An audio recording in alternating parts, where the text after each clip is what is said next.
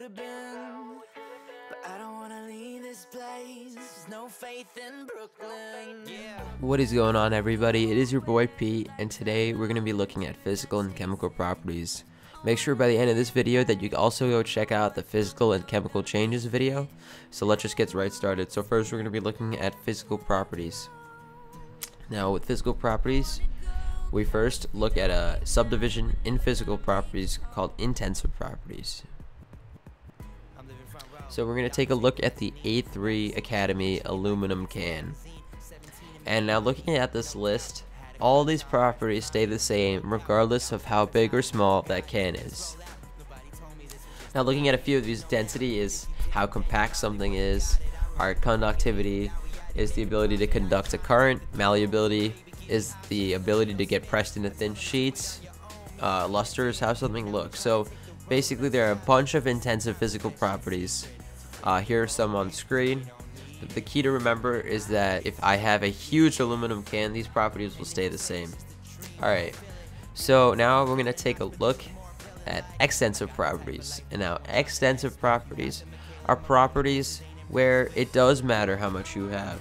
Alright, again we look at the A3 can. If I make this like a billion times bigger, our mass, volume, and length will change.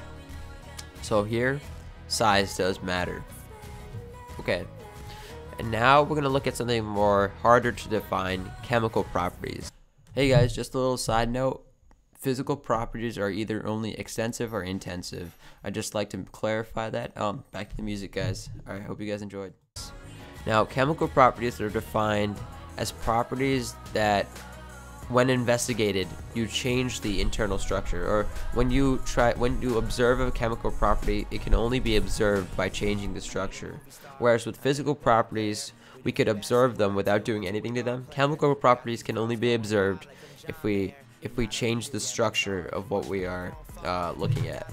So here we have Pete's favorite substance. So the, that yellow one in the middle is mine.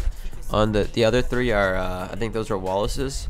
So these are all chemical properties. Reactivity, for example, we have to change the structure of my liquid in order to figure out the reactivity. With the heat of combustion, the energy associated with fully combusting that liquid, that would be something.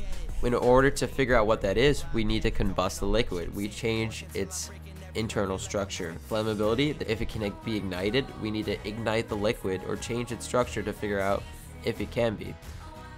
All of these things are chemical properties. There are tons of chemical properties, and here the key is to remember that it is something that can only be observed if we change the structure of it. Alright guys, that is all for this video. I hope you guys enjoyed this, and get ready for a, a slew of intense chemistry videos. I'll see you guys later.